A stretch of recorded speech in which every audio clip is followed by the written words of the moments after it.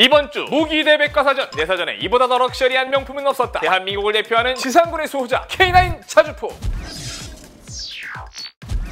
1999년 전력화된 대한민국 국산화 첫 자주포 K9 최대 사거리 40km 발사 속도는 분당 6발 자동 탄약 장전 탄약 적재량 48발 전투 중량 47톤 52 구경장에 155mm 화포를 탑재한 K9은 사거리 연장탄까지 사용하면 사거리가 40km 이상으로 늘어납니다. 혼자서 사격 제원을 바꾸면서 사격할 수 있어 단독 time on target TOT 사격이 가능합니다. 쉽게 말해 K9 한 대가 3발을 쏜 것과 K55 석 대가 한 발씩 동시에 쏜 것과 같은 효과를 낸다는 사실. 또한 천마력의 디젤 엔진을 탑재해 최대 시속 67km까지 달려 K1 전차 시리즈와 동등한 기동 능력을 자랑하는데요. 유기압 현수 장치를 적용해 주행 시 안정성은 물론 승차감도 높이고 고강도 잠갑판을 사용해 방호력도 높였습니다. 미국의 M109A6 팔라딘이나 영국의 AS90에 비해 월등한 성능을 발휘하는 K9 이미 핀란드, 에스토니아, 노르웨이, 인도의 수출 군사 강국인 영국도 호시탐탐 노리고 있습니다. K9의 인기에 힘입어 개량형 K9A1도 출시됐죠. GPS 보조 동력 장치, 열상 방식 야간 잠만경 등을 추가해 승조원들의 생존성도 증대됐습니다. 대한민국 지상전의 효자템이자 든든한 맏형 K9 저도 기대고 싶네요. 나도 좀 지켜줄 거지?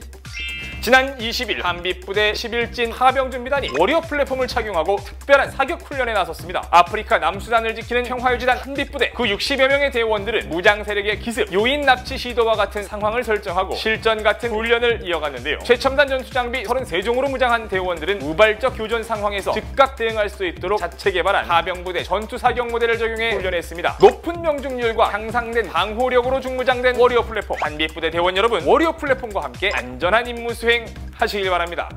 지난 13일 어느 때보다 특별한 전우회 그리고 가족애를 느낄 수 있는 100km 장거리 지속 행군이 펼쳐졌습니다. 무박 2일간의 100km 장거리 지속 행군 이 훈련을 통해서 강인한 체력을 다시 한번 확인하고 할 수 있다는 자신감도 높이고 부대의 화합과 단합, 전우회를 쌓는 시간을 가졌다고 하는데요. 여기서 가장 특별한 이벤트가 있었어요. 바로 90km 구간에서 장병들의 가족들이 짜잔 하고 등장한 건데요. 가족들과 함께 남은 10km 구간을 걸으면서 완주의 기쁨을 전우와 가족과 함께 나눴습니다. 앞으로 이런 가족 이벤트는 점차 많은 부대들이 함께할 예정이라고 하는데요. 여러분은 가장 힘들 때 누가 생각나세요? 저는 엄마? 근데 여러분들 힘들 때 저 생각해 주시는 거 어떠세요? 아 옛다 브로마이드!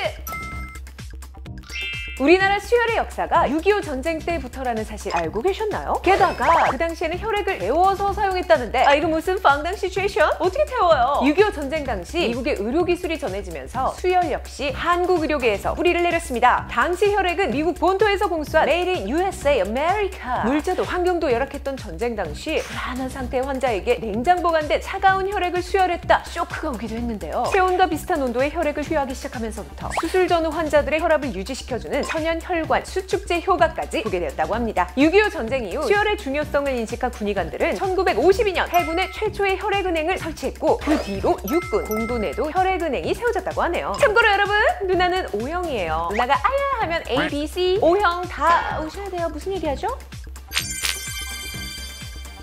그냥 가시려고요? 아 섭섭하다. 좋아요, 구독은 필수.